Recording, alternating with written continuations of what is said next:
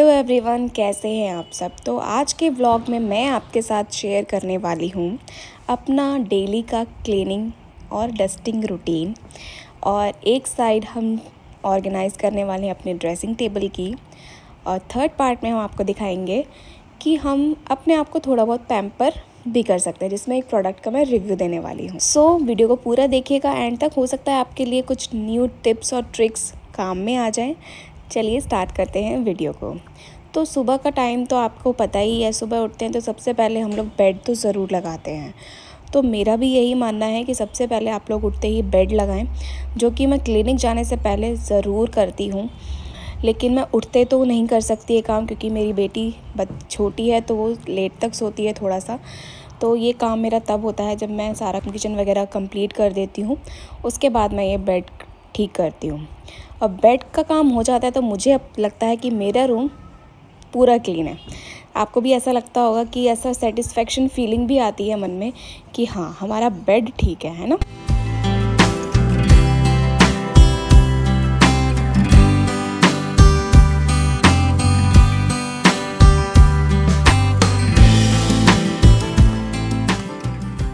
ये करने के बाद मेरा पास इतना टाइम नहीं होता है कि मैं अपनी डस्टिंग करूँ। क्लिनिक से आने के बाद ही मैं अपना जो भी मेरा क्लीनिंग का रूटीन होता है, जो भी मेरे घर के अपने काम होते हैं लाइक डस्टिंग करना, किसी चीज़ को ऑर्गेनाइज़ करना, कुछ भी, वो सब मैं तभी आफ्टरनून में करती हूँ।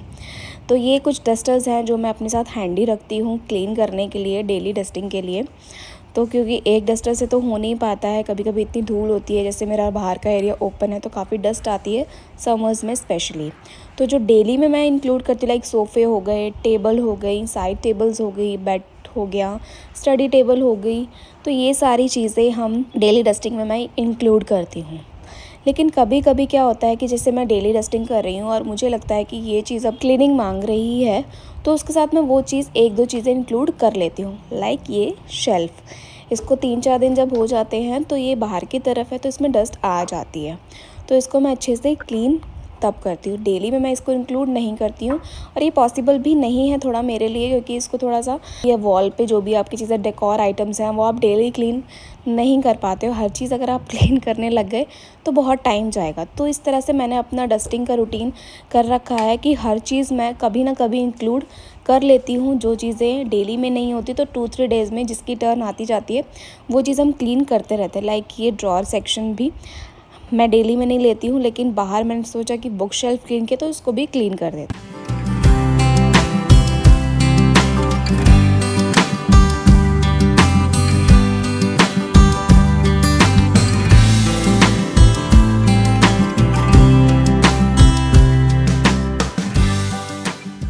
और मैं डस्टिंग के लिए कोई सॉल्यूशन वगैरह यूज़ नहीं करती हूँ, लेकिन कभी कभी मुझे ज़रूरत पड़ती है लाइक कि मेरे जो वुडन फर्नीचर है, उसकी थोड़ी शाइन अगर मुझे लगता है कि डस्टिंग से प्रॉपर क्लीन करने के बाद भी मुझे ऐसा लगता है कि वो क्लीन नहीं हो रहे हैं तो एक सॉल्यूशन आता है, उसका लिंक मैं डिस्क्रिप्शन बॉक्स में ज़रूर दे दूँगी।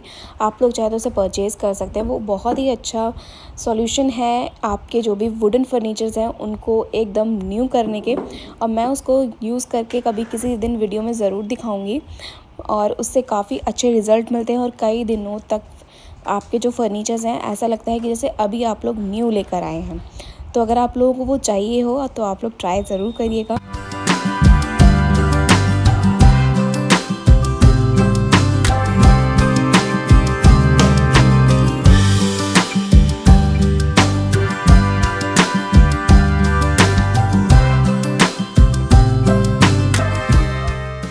इसी तरह से मेरा थोड़ा सा रूटीन रहता है क्लिनिक से आने के बाद। और साथ साथ क्या होता है ना कि जो भी ज़रूरी नहीं है कि डस्टिंग ही हो, मुझे अगर कोई चीज़ फैली हुई लगती है तो आप वो भी ठीक करते हुए चलें तो जैसे ये स्टडी टेबल मेरे हस्बैंड रोज़ ऑफ़िस का काम करते हैं शाम को, नहीं रख पाते हैं चीज़ें अपनी जगह पर। तो ये काम मेरा ही होता है कि मैं इसको ठीक कर रखूँ लैपटॉप अपनी जगह पर रखूँ और अच्छे से वहाँ पर डस्टिंग करते उनकी चेयर प्रॉपरली क्लीन करूँ। तो ये चीज़ें भी आपको ध्यान में रखनी है कि टेस्टिंग क्लीनिंग के टाइम पे जो भी चीज़ आपको फैली हुई लग रही है, उसको साथ साथ क्लीन करते जाएँ।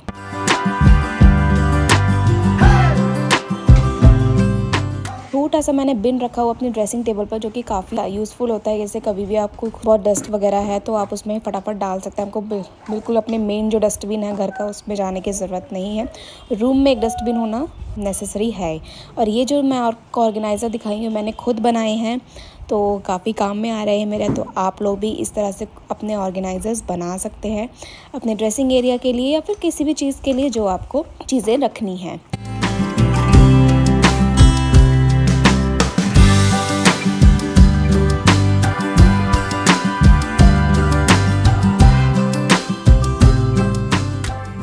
इसमें आप देखेंगे मैंने सिर्फ़ नॉर्मल चीज़ें नहीं, मैंने कुछ चीज़ों को इंक्लूड किया है, जो डेली मैं इंक्लूड नहीं करती हूँ, पर ये शेल्फ़ मैंने अपनी बेटी के टॉयज़ रखने के लिए ही मंगवाई थी।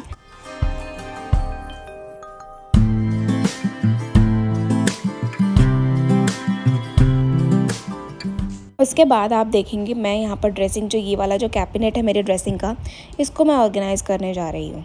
इसमें क्या है कि मैं चाहती हूँ कि मेरी जो भी मेरे को डेली में चीज़ें चाहिए वो मुझे यहाँ पे मिल जाए। तो सबसे पहले मैंने सारी चीज़ें निकाल दी हैं और इसमें दो सेक्शंस हैं अपर और लोअर और इसमें मैंने दो हुक्स भी लगाए हुए हैं जिसमें मैं की चेन्स को एडजस्ट करके रखती हूँ। या फिर कीज़ के अलावा आप कुछ भी यहाँ पर हैंग कर सकते हैं। तो सबसे पहले मैंने इसको क्लीन किया और यहाँ पर मैंने अपने हेयर से रिलेटेड स्किन से रिलेटेड वो सारी चीज़ें मैंने यहाँ पर प्लेस की हैं। और मैं आपको एक चीज़ और बताना चाहूँगी, जैसे बॉटल पे डेट्स वगैरह मैं डाल के रखती हूँ।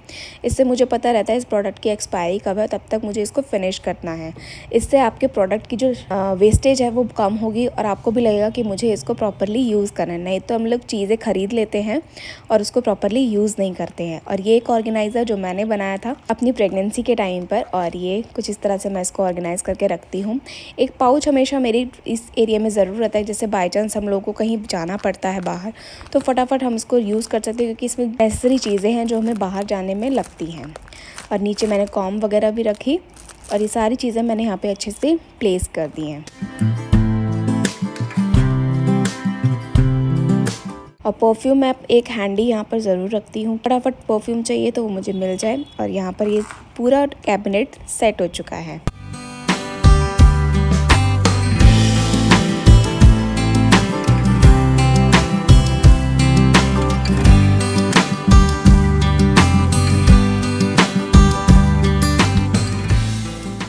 मुझे ना टाइम नहीं मिल पाता है कि मैं रोज़ अपने स्किन की केयर करूँ।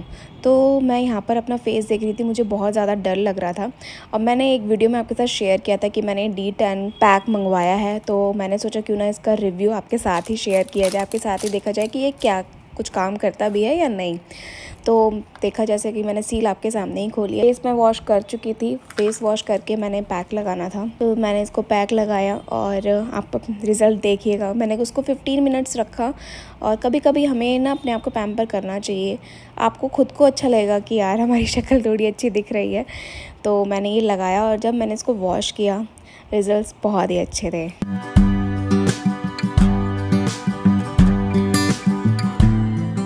आप खुद ही देख सकते हैं कितने अच्छे रिज़ल्ट्स आए हैं।